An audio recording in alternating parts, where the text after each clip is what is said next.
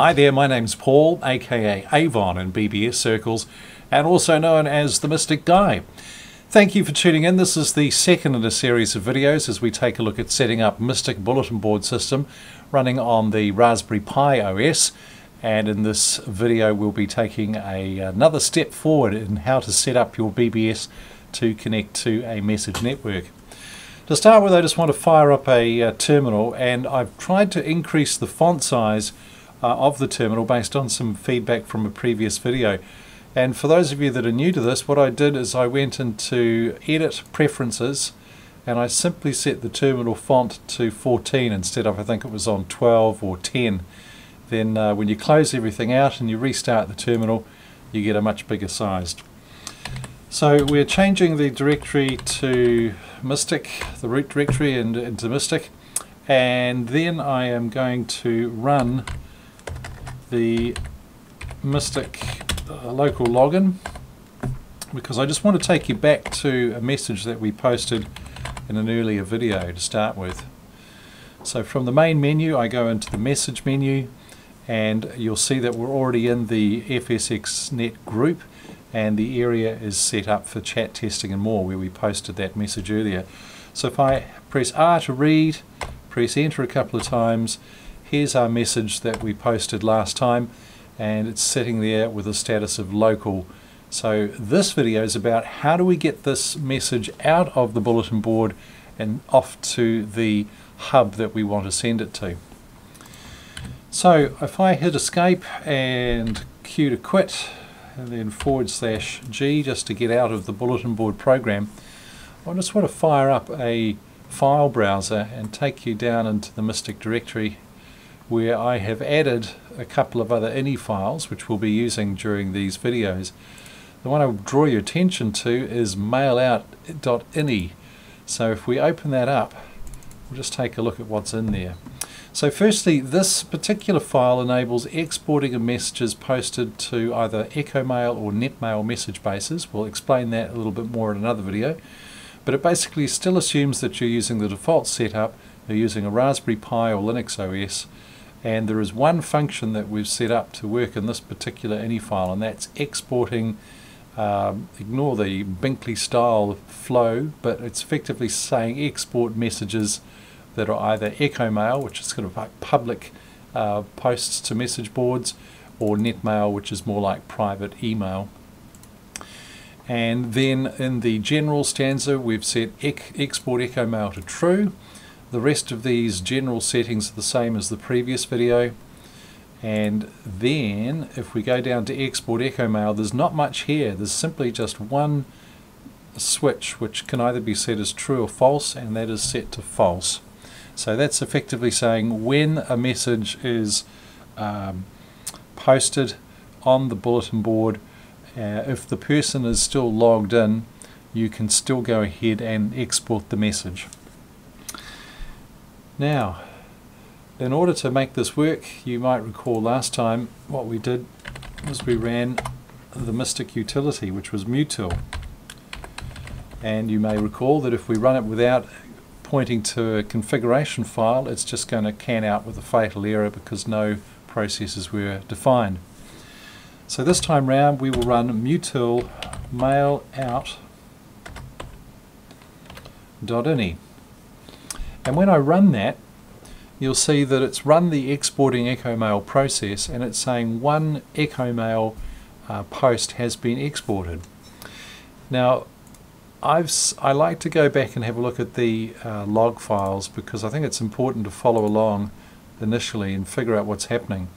So if we go into the mutil log file, which is datestamp today, and open it up, you'll see that it is showing us that it's running the process of exporting EchoMail.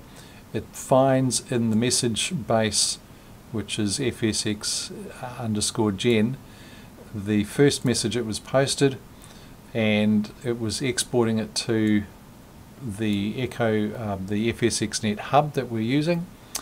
One message is being sent and then it's taking that and effectively this is the raw message it's saved as a packet file so if you were to view this with a text file editor you'd see pretty much the text of the message and a few other bits and pieces.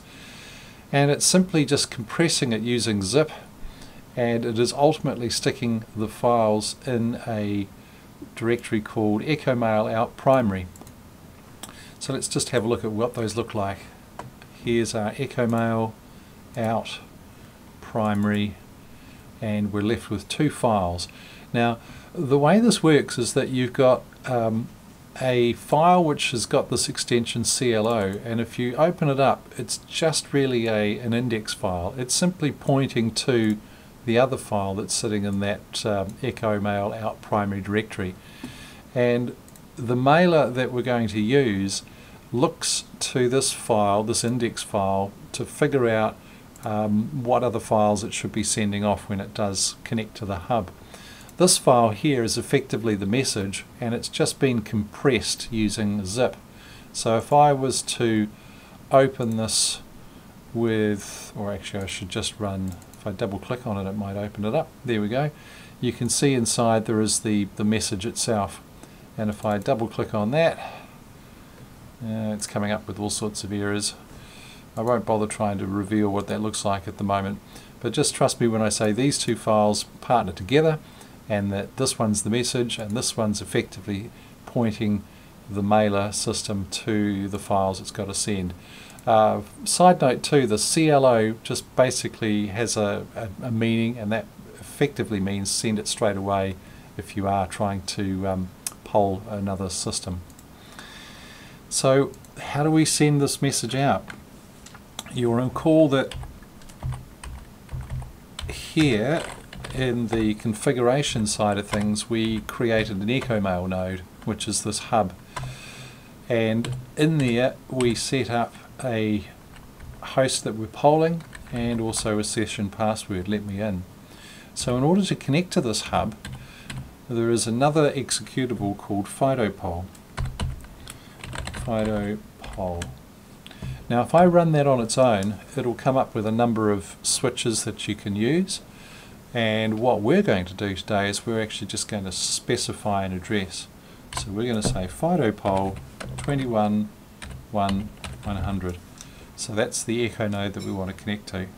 Now when I run that, you'll see that it's connecting to uh, the hub and it's currently receiving and sending a whole lot of messages and files. So we've managed to send one, but we've also got 14 different things in return. Some of these are messages, some of these are files which could be imported into our file base and that's the subject of a different video. But for now, if I go back into this uh, file browser and I have a look now, the Echo Mail out primary is empty because the file's been sent and on the flip side the Echo Mail in directory now has a bunch of files here and these ones here are all messages uh, from here down these are files that could be imported into our file base. Now I also just want to log in to the Mystic BBS and quickly just go back to that message that I was showing you before because having exported the message out you'll see now that the status has changed to sent so you can see that this has left the bulletin board. It's still sitting here, but a copy has been sent out. And if you were um, logged in and just as a user using this bulletin board and everything was set up, we've gone through all the setup videos, you'd find that uh, after 60 seconds, if you come back and look at this message after you'd posted it, the sent status would have already been displayed because the board usually sends stuff out within 60 seconds. Now the other thing we can do is we can just quickly take a look in the logs because FidoPoll has its own log as well. So you'll see that it's showing that it's polling 211100 via IPv4, it's connecting to agency.bbs. In this case I'm doing this video through an internal LAN so it's actually just polling another computer on my system but otherwise this would show a different IP address. Then there's a whole lot of transactional stuff which you can look at at your leisure, but effectively files are being sent and received, and at the end it shows you how many were sent and received. So that's all good. We've now managed to connect to the hub, we've sent our message off, and we've also received some. Next question becomes, well, how do I import these messages that are currently sitting in the Echo Mail in folder? And for that, you need a third configuration file, which just happens to be called mail in as an ini file. So let's open that up and take a look at it. The mail in configuration file does two things. It will allow you to import messages and it will also allow you to import files. And in order to turn those functions on, you do it here. Now, in, for this video, I'm just going to worry about importing the messages, which is this import echo mail. So there are two stanzas. And if we scroll down and take a look at the import echo mail, I just want to take you through the various settings. The first thing is that it allows you to set up what's known as a dupe message index. So if you want to save duplicated or what are known as bad messages to a certain message base, then you can set this value up to the index of a message base that you create in the message base editor. Otherwise, just comment it out. Uh, I like to use this. In fact, I'm going to go ahead and set that base up right now because I think that's kind of worth doing. So if we go config into the editor's message base editor and I'm going to insert a new base. This one is going to be called dupes. You must set it to local. The echo tag I don't think matters. We'll make the file name dupes and under the list ACS uh, I think we'll set it at S2555 everything is going to be at the highest level for the for the sysop or the sysop however you want to say it. G1 over here. Again, I'm not sure whether this actually matters, but I will set it to a thousand messages or 365. Now, note that it says up here ID 10. So when I escape out of here, and this must be a local message base as well, that's really important. So when I get out of all this, and I go back into my configuration file, I'm going to uncomment this and I'm going to set that base ID to 10. So your one will change depending on what the ID number was. Next, this just sets up the maximum number of messages that this database will track and I'm leaving it at the maximum. Uh, these settings here I think you should leave on their default as well. So unsecure directory true, this effectively means if you receive messages or files from a system that you don't know, that you haven't defined as a echo mail node, at the very least it's going to look at, at uh, information contained in the, um, it's this folder here, unsecure, echo mail and unsecure. And usually if a system sends you uh, private mail, net mail, it will at least drop into there and you'll be able to import that in even if you don't know uh, the sender. So it's a bit like receiving unsolicited email, but it works um, in bulletin board sense. Strip seen by false, leave that to false. Leave everything else pretty much as is. And also down here, you'll see that there's an option for auto creating. So if you receive a message posted to a message area your system isn't set up for, Mystic is going to go ahead and create the message base based on some default settings. So it's going to set the list access to S10G1 and so on and it's going to set the maximum number of messages for the base and the age and everything else. But even better than that, you can actually set these settings up specific to the address that uh, the message is being sent to. So if your system address is 211999, which is, you'll recall the default kind of test address that we're using for these videos, then if it receives a message uh, for a base that uh, is addressed to this system, then these rules will apply. So you can go ahead and change this perhaps when you get your own node number, well you should do, but the point is that uh, you can configure all sorts of setups in advance so that Mystic will do the heavy lifting for you. Then we've got another area uh, set up for importing the files, but we're going to come to that in a different video. So for now though, we've got a uh, an ini file here called mailin.ini, which is sitting in the Mystic directory, which you'll see right here, mail in ini. And I'm now going to run that and see if we can't just suck in some of these new messages. So let's see what happens. We'll go mutil, mail in. You don't even need to put the ini in, I think. Yeah, we'll just go with that and see what happens. And sure enough, magic is happening. Look at that. 316 messages were imported. Uh, they were echo mail messages, so what you'd call public messages, readable by everybody. There's no private one to one net mail.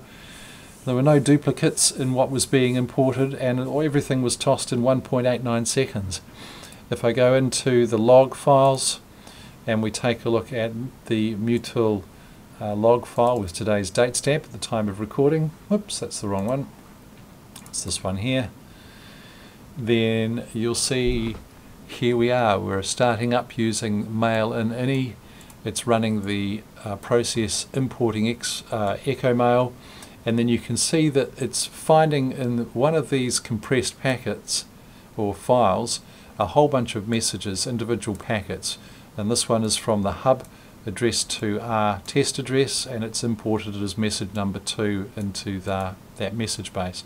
And on and on it goes. Just lots and lots of messages being imported other packets being opened up and so on. So we can get to the bottom of this and you can see down here it's saying it's imported 316 and at this point it's saying look I don't know what I want to do with these files. They're unknown to me. And as I said that will be the subject of another video. So if we log into the bulletin board now let's read our new messages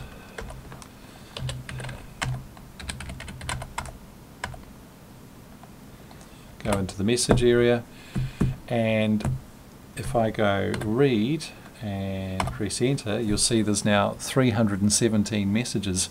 That's a lot. And there they all are. So if I press number press on number two, you can see we've now got other messages that have been sent in. This one's dated the 22nd of November. It's using the American uh, displayed format there. Also, uh, another tip too is a file called or an option called the indexed message reader. So if you press I, you'll see that it's showing you the uh, file groups and the various message bases that are set up and uh, here we are. It's just a nice easy way of seeing that there's 317, 29 are addressed to me, um, 315 are new and from here I can start going through and reading messages and replying to them and so on.